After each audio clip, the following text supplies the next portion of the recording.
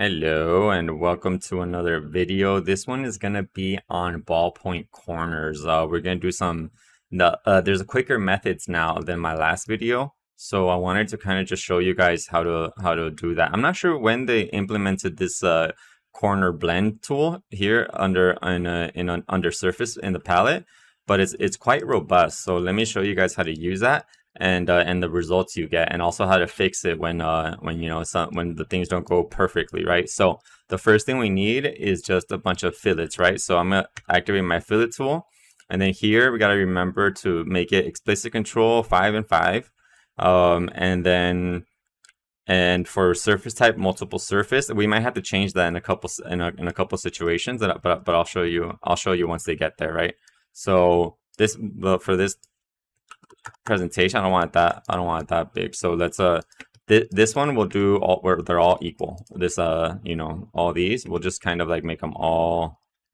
all equal.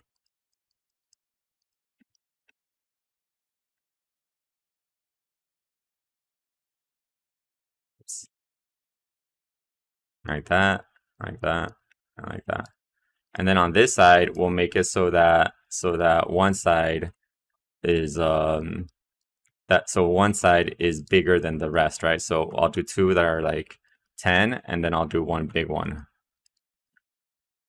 Right, like that, like that, like that, like that. Right, and then we'll do another one, but this one will make it like 20. Uh, like that, like that, and everything's completely random in the sense of like, because you know sometimes these cor these corners are random. You know that that when you come up, you know, a lot of that, a lot of those fillets are based on other conditions, not on the corners condition, right?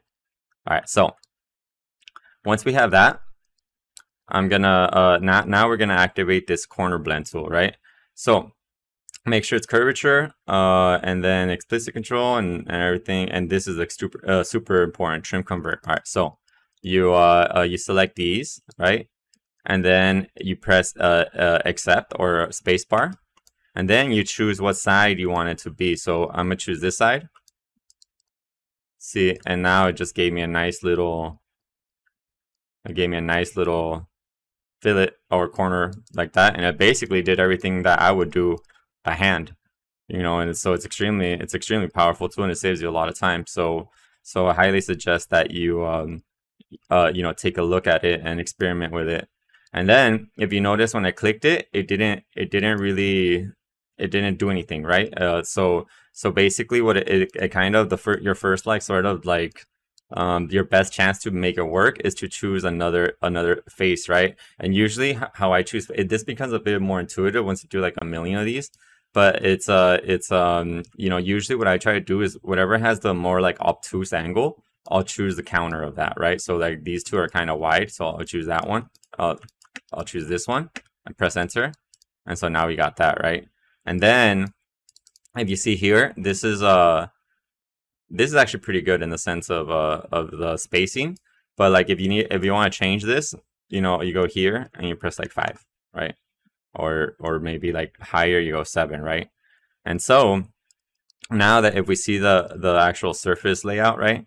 We didn't get we, we didn't get tangency here and and um and we didn't get curvature here. So now now that i kind of like i'm happy with the result in terms of like the layout i'm gonna uh, hide uh delete the history pressing w and my that's in my uh hotkeys. And then i'm gonna i'm gonna see the the first thing is the tangency and the tangency break is here. So i'm gonna i'm gonna uh grab this cv i might be able to fix it with this cv and then I'm gonna I'm gonna use my transform CV tool, and I want you guys to kind of notice this because it's kind of important. Uh, so if I press Control Shift C, it, it activates this tool, and I press spacebar, it's my sound my mouse sensitivity is a thousand, right? And if I if I click around, you see how it's moving a lot, and it's like it shouldn't really move that much, right? It's because that's kind of set up on the overall like file, right? Or, or like you know the, the that's like the default, and then we're kind of like looking at a small corner to kind of readjust that and make it so that it's proportional to what you're working with to uh, select the the surface that you're looking for and then um uh and then press alt L to look at it right? And that basically kind of resets the the the proportioning of it. And so now if I select this corner and press Control Shift C, it's the same tool we just used, but now when I move it around, now it's extremely, it's extremely, um, you know, um, it's extremely uh, sensitive, right? So this one, I'm wondering if I could fix it here like this. No. So I'm gonna go to this one, and then I'm gonna press Shift C, and there. I just and I moved it so little that I didn't even break the tolerance of the positional here and then and then here too. So here, and then this is also another point that I wanted to make in the sense of like a lot of times um, managers or uh, you know people or even yourself you'll be you'll be sticklers to these like letters, you know, and it's to me it's very much like if especially when we're talking about smaller fillets it's it's really good to think about this in, in big you know um, body sides and like big hood elements stuff like that but when we're talking about tiny fillets um, if you see right now, I'm gonna fix this curvature error. I, am only moving it. I'm moving it less than a, a tenth of a millimeter. You know, that's that's like the the width of a like like a hair. So it's not really like so so like look. I'm gonna go like that and there. So it's like now I got all the curvature and everyone's happy, but it's like you know what was really you know that that that movement wasn't ever gonna be uh, it wasn't going to show up later in the manufacturing process because even man, the tolerances of the manufacturing aren't that like refined you know? So it's a uh, so to a certain extent like obviously it's it's important to understand how to get curvature and all that but i also you know don't be killing yourself over it you know because it's really not you know the end of the world. So um, but there is a lot of um, like stuff to learn in terms of ballpoint corners right? Because we do have this corner and this corner you know that that you, you have to like sort of it becomes a little bit more intuitive with what you, which one you choose but that's something that's very like um you know with with a lot of practice and and that's why I, I made so many. It help you know you'll start to kind of figure out which is the right corner for it right? And, and even even to some extent that the tool will not uh, work on certain corners and they will on others. So like here i'll go like that and then like let me see if i can get this corner. Yeah this corner see it didn't work so if I, I gotta do it again, and then let me choose this corner. See, this corner didn't work. And I choose again, and I would choose this corner. Oh, whoops. Then this corner. And see, and this corner did work. All right. And again, let's say I wanted to fix that. I go here, delete the history. There you go. Right. And then, uh, yeah. And so, so we just kind of, and, and that's basically, you know, how, how the tool works. With these, whenever there's a wider, whenever there's a bigger fillet, the easiest the uh, turn to make is going to be counter to the bigger fillet, right? So if I if I activate the tool again, I'm gonna go like this, like this, like this, enter, and then press this one, enter, like that. And if you see how much they're getting like bent that way, um, it's because here in base radius, let's give it a little more, a little more room, right? Because that because that one's bigger, right? And and there, and look, it's it's like amazing because like before it used to take me such a long it, it takes like you know uh, you could maybe cut it down to like i don't know four like four minutes and stuff but now it's just you know just child's play at this point not child's play because it's very difficult but this tool is very robust and whoever developed this i want to thank you if you ever see this video thank you so much um so uh I wish I had it earlier in my career, honestly. So here, the same thing, right? Let's uh, let's turn on that video, that that um that corner blend, and then we're gonna go like that, like that, like that, and then we're going to choose this one. And there you go. Uh, now we the only thing we lost was was tangency here right? And then um, and then uh, so uh, tangency means that it's going to be this one right? Uh, and I don't want to lose curvature here so there's a couple things I could do. It looks like it could go this way. So I'm gonna go like that uh, my arrows and then move it this way. And then I'll probably I'm thinking maybe if I maybe off the normal. Let's see. Yeah, and then here, uh, Control Shift Z off the normal. And there you go.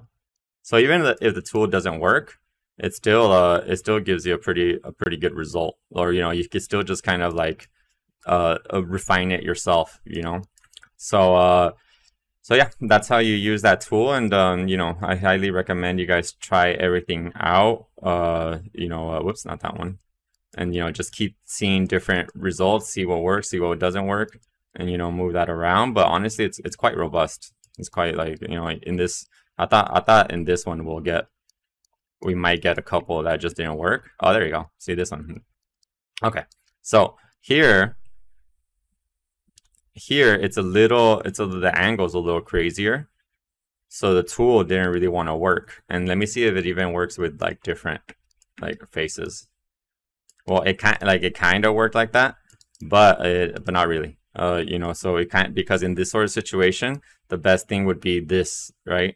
And so and so we're basically let me let me uh now that we have this situation i'll i'll uh, i'll show you guys how to you know basically do these ball point ballpoint corners by hand for when the tool fails, right? And uh, and we're gonna come up with a very, very similar result to this. You know, like if we kind of analyze what's going on, you know, it's like the the best thing is is when this is following, you know, it's fall it has it has edge align to to this edge, right? And um and then and then so all of these are also sort of like connected to each other, right? So let's uh do that, but we're gonna do that by hand. Uh, another thing I forgot to mention, this file, it's available in my website for free. And um, and then here it has 100, and then here it has a 400, and then here it has an, another 400, so that you guys can have endless practice. Um, and that's in my in the alias uh, section of my website. Um, all right, so let's go. Let's do this one. You know, I was thinking. I wonder if I just extend this like this. I wonder if that will help the tool. Let's see. Maybe not. Let's see. Oh, yeah, there you go. Yeah, so uh, if the tool doesn't work, just extend things out a little more. And then that usually, well, not usually, I don't know if usually, but that will probably, that will help out. So let's go like 15. Let's see, and there you go. Mm, I wanted to show you guys how to do it. Well, I guess let's say that this tool didn't work, right? Uh, let's do undo all. So now what I, what you do is uh is the first I'll let me I will isolate them. The first thing I do is we move this back and and um and basically you want these aligned right and just because we're already rebuilding it I'll just um I'll just do this make sure it's edge align edge align and like this edge align and edge align like that and then and then for these, you can you can basically grab this stuff like this. And then one of like the fastest way or how I kind of do it like really quickly is I'll duplicate this edge using my N uh, duplicate curve tool and then duplicate this edge like this. And then I'll extend it out like this, like that. And I'll extend this out like that. And then I'll project that here onto these like this. And then so now I'll grab the, I'll, I'll, uh, I'll trim convert here like that. And I'll trim convert here like that. And then I'll delete the old ones. Delete the old ones like that. And then uh, delete these curves. I don't need them anymore. And then to make sure that this these are aligned, I'll uh, I'll go to my edge align and click here. And here, make sure it's edge. Make sure it's in the edge. And here too, make sure it's all the way here. Click on edge.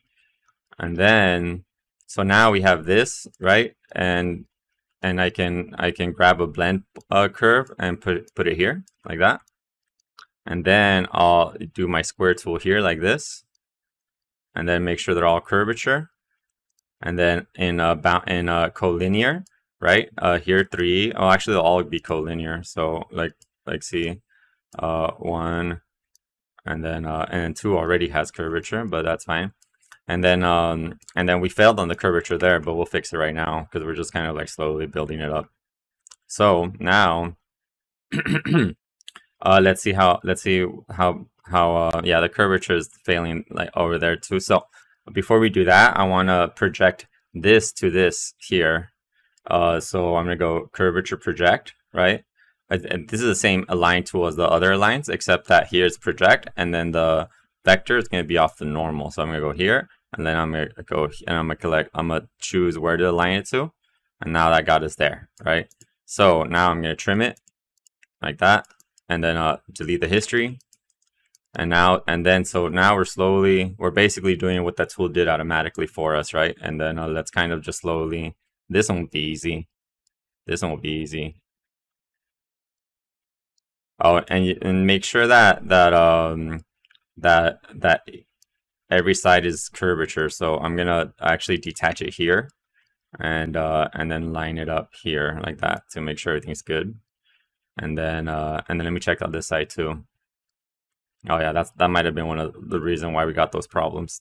So I'm gonna just detach it here, and then make curvature line there. On like that. Let me make sure that, there you go, there you go. And then this one, oh, oh well, I wonder why. Okay, so then I'm gonna untrim. Oh no, I forgot to, uh, uh, see, this is why I always, um, let me revert here and revert here. That's why I always uh, delete the history. So now I'm to untrim all this. Uh, and then I'm just going to do the project again, like that here, here, and here, and then trim. Here. Okay, so there's still probably a little bit of an error here. So uh, I'm thinking first I'll check the, the tangency, make sure that's good still. Okay, now I'm going to check the curvature. There'll probably be an error here. Yep. Oh, that one's fine. That one's fine.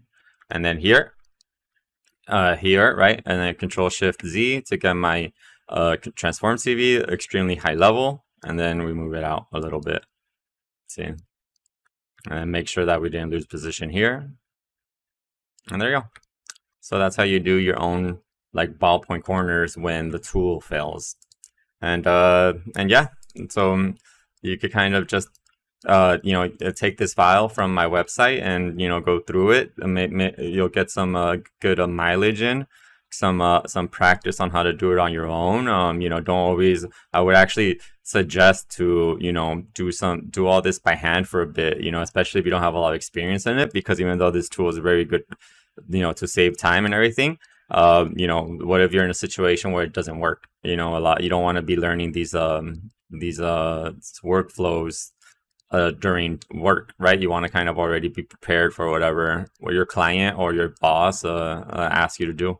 So, um, so yeah, um, I hope you guys enjoyed this video. It's a quick one, um, and uh, but I definitely wanted to show you guys, uh, you know, this tool because it was really it's extremely powerful, and also to tell you guys that there's a new file that you guys can practice with. It's on my website. So uh, yeah, I hope you guys uh, enjoyed it, and um, uh, I'll see you in the next video. Bye bye.